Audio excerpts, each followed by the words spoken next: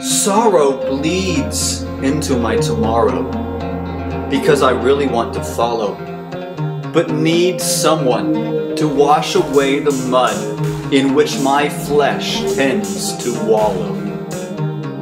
I've been made a new creature with every feature fresh.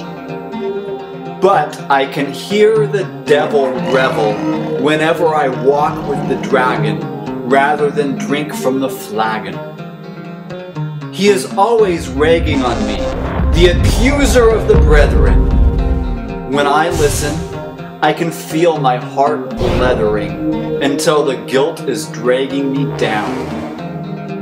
There is such a long journey ahead, and I feel too yellow to enter the tourney. A coward! I must remember I am showered with grace by one who sends daily bread.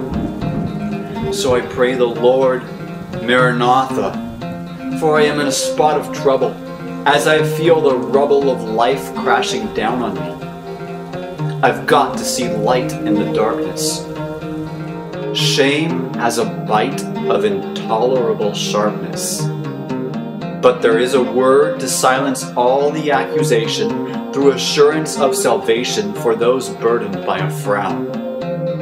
On his head sits a crown, and we are always welcome in his town, if we will yet bow down and lay away the violence calling treacherous lullabies like sirens.